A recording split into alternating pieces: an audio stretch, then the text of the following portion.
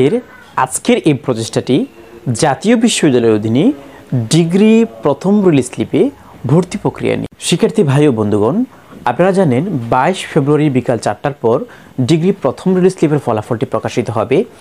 ফলাফল প্রকাশিত হলে আপনারা যারা চান্স পাবেন, তাদের কি করণীয় সে সম্পর্কে আজকের ভিডিওতে ডিটেলসে বলার চেষ্টা করব। আশা করি মনোযোগ সহকারে পুরো ভিডিওটি আপনারা দেখবেন। প্রিয় শিক্ষার্থী, ভাই বন্ধুগণ, আপনাদেরকে ইংলিশ বায়োস্কোপ পরিবারে স্বাগতম। আশা করি আপনারা সবাই ভালো আছেন। জাতীয় বিশ্ববিদ্যালয় সংক্রান্ত তথ্য, পরামর্শ এবং অনলাইন ক্লাস পেতে আপনারা আমাদের এই ইংলিশ বায়োস্কোপ পরিবারটিকে সাবস্ক্রাইব করে নোটিফিকেশন বেলটি অল করে রাখতে পারেন, যাতে পরবর্তী ভিডিও আপনারা সবার আগে পেয়ে যান।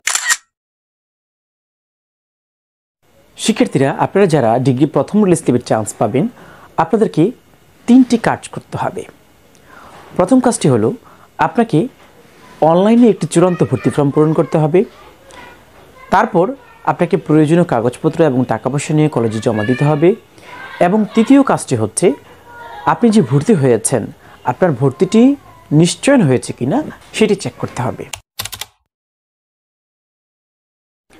শিক্ষার্থী ভাই বোনেরা প্রথমে আপনাকে একটি চূড়ান্ত ভর্তি ফর্ম পূরণ করতে হবে।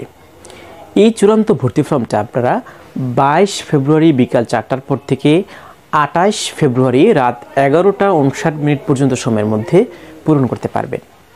তবে যারা অন্য কোথাও ভর্তি আছেন, এখন ডিগ্রি রিলিজ স্লিপের চান্স পাবেন, এখন এখানে ভর্তি হতে চাচ্ছেন, তাহলে আপনারা অবশ্যই সাতাইশ ফেব্রুয়ারির মধ্যে আপনার পূর্বের ভর্তিটি বাতিল করে চূড়ান্ত ভর্তি ফর্মটি পূরণ করতে হবে।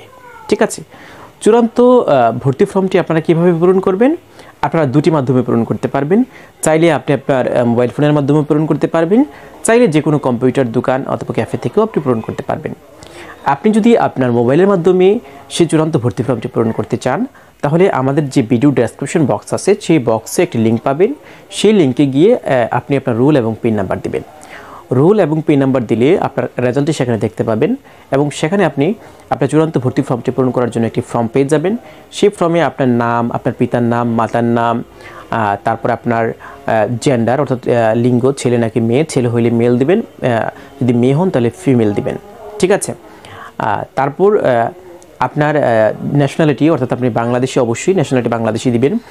তারপর আপনার যে গার্ডিয়ান আছে গার্ডিয়ানের নাম গার্ডিয়ানের নাম্বার এবং গার্ডিয়ানের যে বাৎসরিক ইনকাম সেই বাৎসরিক ইনকামটা আপনাকে এখানে দিতে হবে। মনে রাখবেন, আপনার বাৎসরিক ইনকাম যদি এক লক্ষ টাকার নিচে হয়, তাহলে আপনার উপবৃত্তি পাওয়ার একটা সুযোগ থাকবে। যদি বাৎসরিক ইনকাম এক লক্ষ টাকার বেশি হয়, সেক্ষেত্রে কিন্তু উপবৃত্তির বিষয়টি এখানে না পাওয়ার সম্ভাবনা বেশি।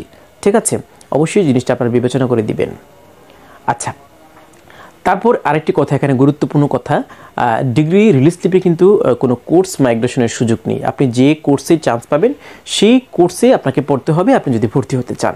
ঠিক আছে? তারপর আপনার প্রেজেন্ট ড্রেস এবং পারমানেন্ট অ্যাড্রেসটা লিখবেন, লিখে সেটা আপনারা সেভ দিয়ে সাবমিট করে আপনি এটা ডাউনলোড করে রাখতে পারবেন। পরে যে কোনো কম্পিউটার দোকান থেকে দশ থেকে পনেরো টাকা বা বিশ টাকা দিয়ে সেটা আপনি প্রিন্ট করে নিতে পারবেন। ঠিক আছে? প্রিয় শিক্ষার্থীরা, যথাসময়ে আপনি আপনার চূড়ান্ত ভর্তি ফর্মটি পূরণ করার পর আপনার কাজ হলো প্রয়োজনীয় কাগজপত্র এবং টাকা পয়সা নিয়ে আপনার কলেজে গিয়ে সেটি জমা দেওয়া। আপনার কলেজে গিয়ে প্রয়োজনীয় কাগজপত্র এবং টাকা পয়সা জমা দেওয়ার সর্বশেষ তারিখ হচ্ছে পহেলা মার্চ, অর্থাৎ মার্চের এক তারিখ পর্যন্ত সম, অফিস চলাকালীন যে সময়টা, সেই সময়টার মধ্যে গিয়ে আপনার কলেজে গিয়ে এগুলো জমা দিতে হবে। এখন আপনার কি কি কাগজপত্র লাগবে এবং কত টাকা লাগবে সেটা আপনারা কীভাবে জানবেন? আপনি যে কলেজে চান্স পেয়েছেন, সেই কলেজের একটি ওয়েবসাইট থাকতে পারে। ওয়েবসাইট না থাকলে তাদের একটা ফেসবুক পেজ থাকবে। ঠিক আছে? আপনারা স্ক্রিনে দেখানোর পদ্ধতিতে তাদের ওয়েবসাইটটি অথবা ফেসবুক পেজটি আপনারা সার্চ করবেন। সার্চ করে সেখানে দেখবেন তারা কোনো নির্দেশনা বা নোটিশ প্রকাশ করেছে কিনা। সেই অনুযায়ী আপনারা টাকা, পয়সা এবং কাগজপত্রগুলো জানবেন। যদি তাদের কোনো ফেসবুক পেজ না থাকে অথবা কোনো ওয়েবসাইটেও আপনারা প্রয়োজনীয় তথ্য না পান, তাহলে এই ওয়েবসাইট থেকে তাদের প্রয়োজনীয় ফোন নাম্বারটা আপনারা জানতে পারবেন। সেই ফোন নাম্বার যোগাযোগ করে আপনি তথ্যগুলো জানতে পারবেন। ঠিক আছে? অথবা আপনি সরাসরি গিয়েও তথ্যগুলো জানতে পারবেন। যদি এই বিষয়ে আমাদের কোনো আপনাদের হেল্প লাগে, আমাদের ভিডিওর কমেন্ট বক্সে আপনারা কমেন্ট করুন। আমরা চেষ্টা করব আপনাদেরকে তথ্য দিয়ে সহযোগিতা করার জন্য। শিক্ষার্থীরা, সাধারণ যে সকল কাগজপত্রগুলো লাগে, আপনার এসএসসি এবং এসএসসির মূল মার্কশিট এবং এর দুই সেট ফটোকপি আপনার এসএসসি এবং এসএসসির রেজিস্ট্রেশন কার্ডের দুই সেট ফটোকপি আপনার রিসেন্ট তোলা ছবির চার সেট আপনার ছবি লাগবে পাসপোর্ট সাইজের এই কাগজপত্রগুলো সাধারণত লাগে। তাছাড়া কোনো কোনো কলেজ আপনার যে এসএসসি এবং এসএসসির সার্টিফিকেট এবং সার্টিফিকেটের ফটোকপি নিয়ে থাকে। এক এক কলেজের ক্ষেত্রে এক এক রকম নিয়ম। আপনি আপনার কলেজে কোনগুলো নিচ্ছে সেটা জেনে বুঝে তারপর আপনারা যাবেন। ঠিক আছে? প্রয়োজনীয় কাগজপত্র এবং টাকা পয়সা জমা দেওয়ার পর আপনাকে নিশ্চিত হতে হবে যে আপনার ভর্তিটি কনফার্মড হয়েছে, অর্থাৎ নিশ্চিত হয়েছে। সেটা আপনারা কীভাবে জানবেন? আপনি প্রয়োজনীয় কাগজপত্র এবং টাকা পয়সা জমা দেওয়ার পর সাধারণত বাহাত্তর ঘণ্টার মধ্যেই আপনার ভর্তিটি নিশ্চয়ন করা হয়ে থাকে। ঠিক আছে?